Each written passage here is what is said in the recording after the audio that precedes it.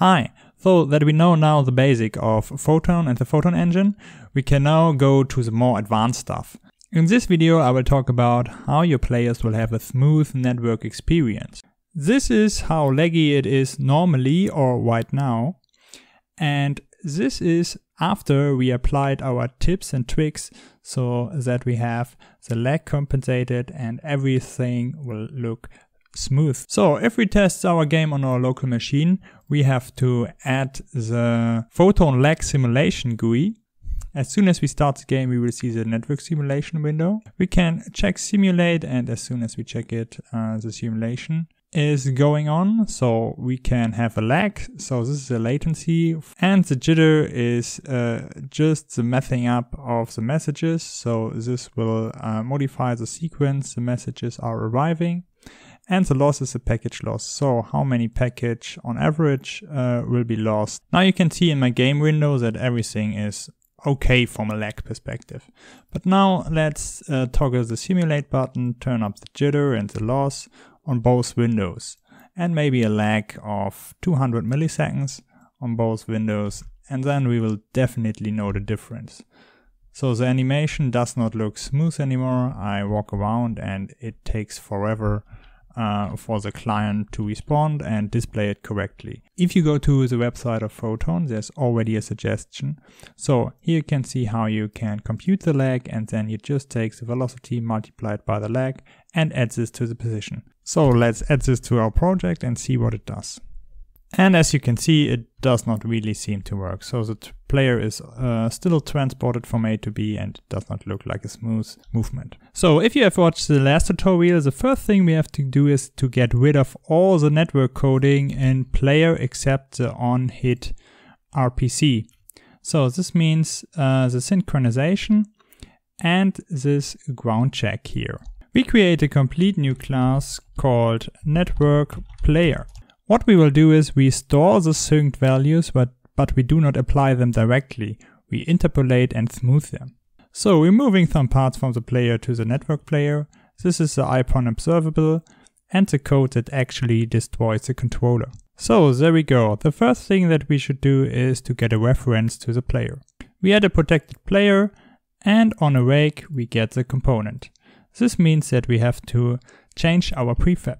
Here's a prefab of our player and now we can add the component. And there we go, network player. Now we should synchronize this network player instead of the player script. So just drag and drop it to the Photon view and that's all we gotta do in Unity itself. First up, we will synchronize the position. So we will store it in a separate value, a vector 3 remote player position. On serialized view, we will do the following we do stream send next the transform position. So this is a local player writing the actual position to the network.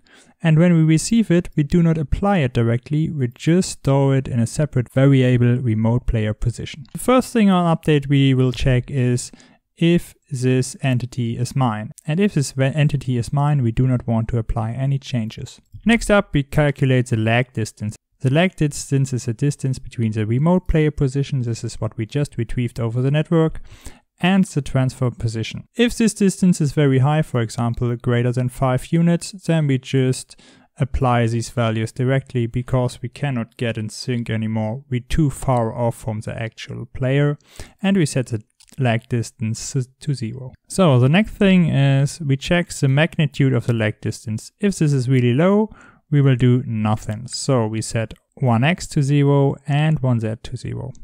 Otherwise, we will take the normalized vector of the lag distance and pass it to the 1 vector of the player input. So now we do not apply these values directly, we will just apply it to these input vectors and just uh, modify the input so that this script always tries to reach the player position, the remote player position. It's somewhat like an AI that is really stupid and always tries to follow this point. And here we can see it in action. You can see the red dot is the dot or the position that we receive over the network.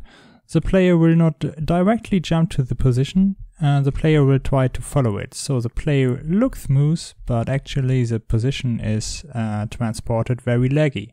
But that's okay, it's only the visual style that have to be smooth. The network itself doesn't have to be that smooth, even if I have a lag of 500 and a jitter of 100 and a loss of 10. Now we have to handle jumps. So therefore we say the lag distance uh, y is 0 because we do not want to have a look at it in the following code. And after that we just say, okay, if the remote player position is higher than the uh, actual uh, position and higher with a distance of 0.2, then the player should jump. The direction the player is looking at should also be synchronized. So we introduced two new variables and synchronize them over the network on Photon serialized view. We will send the actual values and store them in our remote values as always. So on update, we set the input 1, x, z and jump. And we have to set the look x and look z. So therefore we will smoothen the values. We will take the current value, look x, and we say the target, this is the target.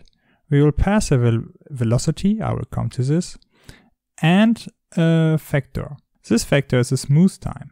This means in 0.2 seconds, the value look x will reach the remote look x, and therefore the smooth damp has to store the velocity. We will just declare the velocity up here. It just uh, has to be the same type as our target value, and there we go. And that's it. So the position is transferred and looks very smooth. We can jump and we can turn around and we can turn around very fast and it always looks smooth on the client side. So there are three tricks you can use to have some kind of lag compensation. There are many, many tricks out there and these are just my tricks. Um, if you want to see more, just leave a like. And if you want to follow this tutorial, just subscribe. More videos will follow soon.